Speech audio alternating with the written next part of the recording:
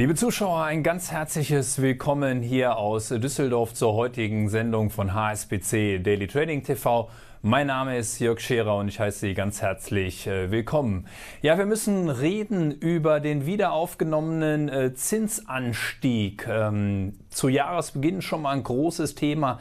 Deswegen heute explizit der Blick auf den Tages- und den Monatschart der zehnjährigen Rendite in den USA. Aber dabei wollen wir es nicht belassen. Im zweiten Schritt wollen wir danach auch noch die Brücke schlagen zu den Auswirkungen, die dieser Zinsanstieg möglicherweise auf den Technologiesektor haben könnte. Und hier haben wir uns konkret den Nasdaq 100 rausgegriffen.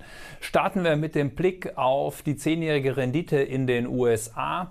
Und als erstes habe ich den Tageschart vorbereitet. Magische 2%-Marke lautete eine unserer Überschriften im großen technischen Jahresausblick der ähm, HSBC. Und diese magische 2%-Marke können Sie, liebe Anlegerinnen und Anleger, sehr gut im Tageschart erkennen. Diverse Hoch- und Tiefpunkte, die wir in diesem Dunstkreis ausgeprägt haben, ein Fibonacci-Level, das hier angesiedelt ist und dann, äh, last but not least, die beiden Kursziele aus den Konsolidierungsformationen, die wir im Verlauf des vergangenen Jahres äh, ausgeprägt hatten. Es kommt also einiges äh, zusammen bei der 2%-Marke, deswegen diese Headline absolut äh, berechtigt. Und jetzt haben wir diesen Deckel bei 2% äh, gelüftet. Entsprechend groß ist die charttechnische Relevanz dieses Vorstoßes in neue Regionen.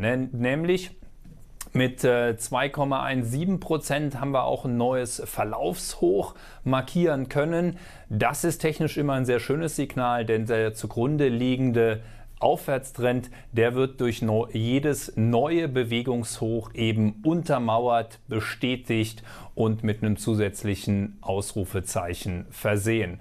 Charttechnisch hat der Sport über die 2%-Marke noch eine weitere Dimension und die lautet, damit kann die seitliche Schiebezone, die wir in den letzten Wochen ausgeprägt haben, äh, als abgeschlossen angesehen werden. Wir haben also aus dieser Trading Range den Ausbruch nach oben vollzogen, ein weiteres trendbestätigendes Signal.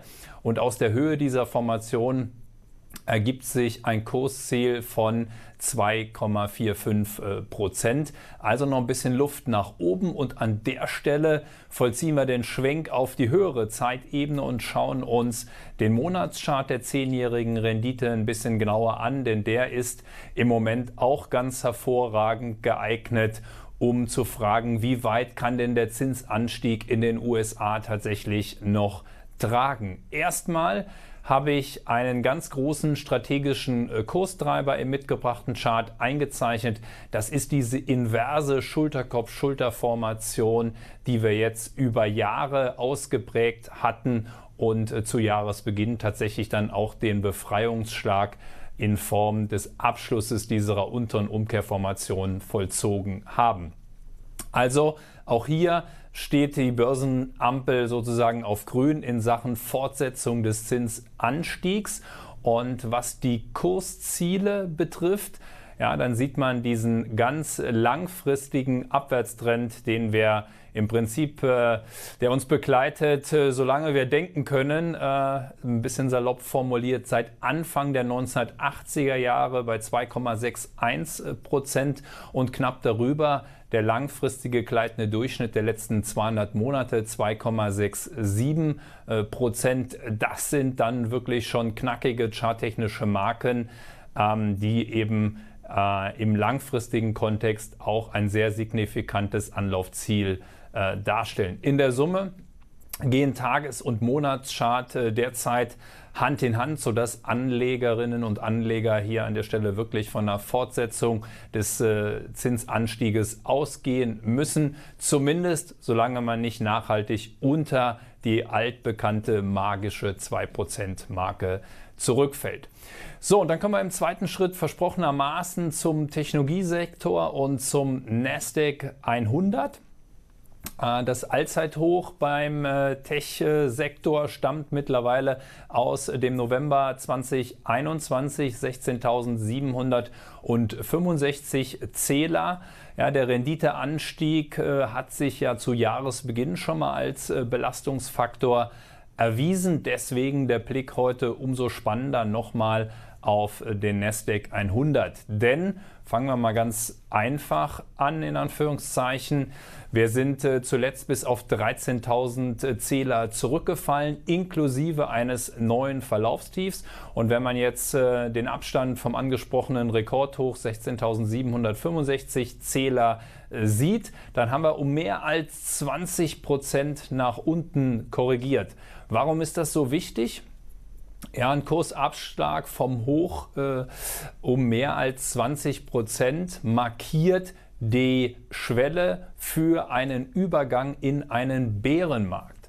Ja, also technische Analysten können zwischen 10 und 20 Prozent noch von einer Konsolidierung, von einer Korrektur sprechen. Ein Kursabschlag gerechnet von einem markanten Hoch um mehr als 20 Prozent nach unten, dann ist eben die Schwelle von der Konsolidierung überschritten und wir müssen in Zukunft von einem Bärenmarkt ausgehen. Und das ist genau die Ausgangslage, die der Nasdaq 100 jetzt jüngst zu Wochenbeginn erreicht hat.